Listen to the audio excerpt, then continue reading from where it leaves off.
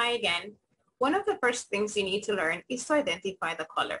That's always a must for any environment, an office, a call center, or even at home. When answering a call, you need to keep in mind, greet your customer. Make sure to say who you are and the name of the company you represent. Ask for the name of the person.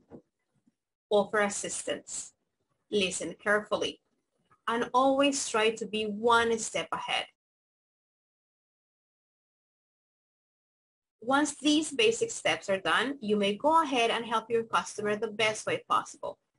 Let's do a basic exercise about identifying colors.